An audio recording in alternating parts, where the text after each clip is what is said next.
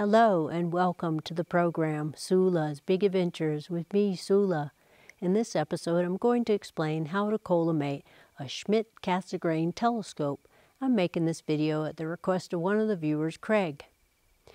Just like Newtonian reflectors, Schmidt-Cassegrain telescopes must be collimated. In fact, it's absolutely critical that your Schmidt-Cassegrain is properly collimated because the secondary mirror on a Schmidt-Cassegrain will increase the focal length by a factor of five so that any maladjustments will cause poor performance.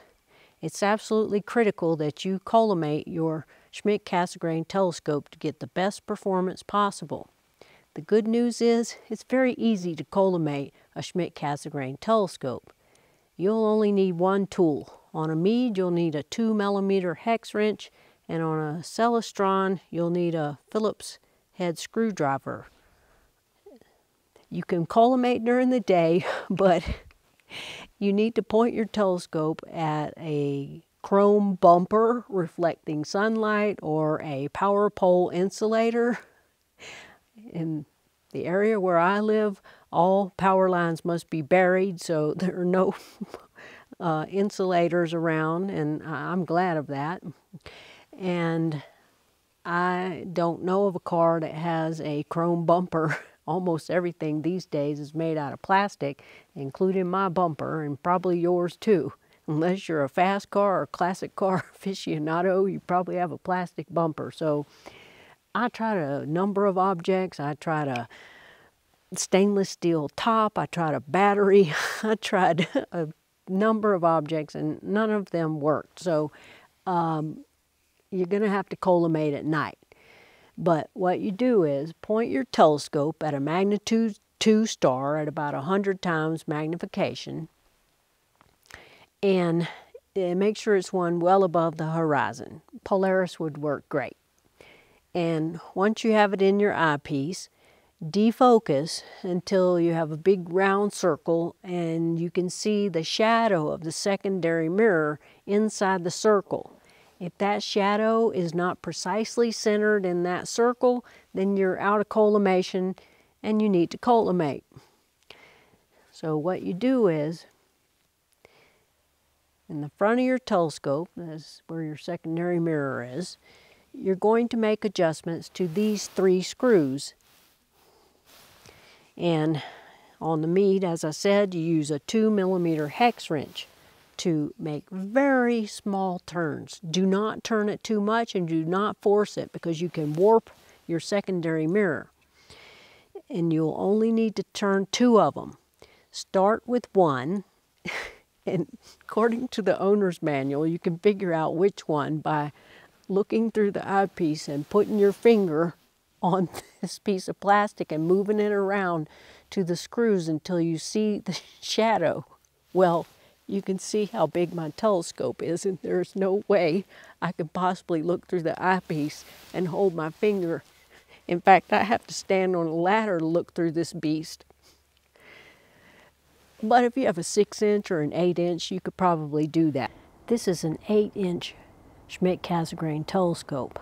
I have Polaris in here and once you get the second magnitude star, Polaris, or whatever star you want to choose in the telescope, lock down your RA and Dec clutches because you don't move the telescope, which I was doing with my 12 inch telescope only because I can't reach the front of it while looking through the eyepiece, but it was for demonstration purposes only. Lock down your RA and Dec once you have the second magnitude star in the telescope. Now I am able to see it. I could see it through the eyepiece, but I put a camera on here and I can see the defocused star, Polaris, and I can hold my finger in front of the secondary mirror to see which screw I need to turn to get the shadow of the secondary mirror centered. You want to put your finger closest to where it's thinnest. Actually, mine is precisely collimated, but if it weren't, what I'm looking for is which screw is closest to the thinnest part. And once I've determined that, then I can go to the secondary mirror with the 2 millimeter hex wrench and turn that screw, whichever one it was. No more than an eighth of a turn. And then go back and see if that made it the shadow of the secondary mirror move towards the center. That's the goal.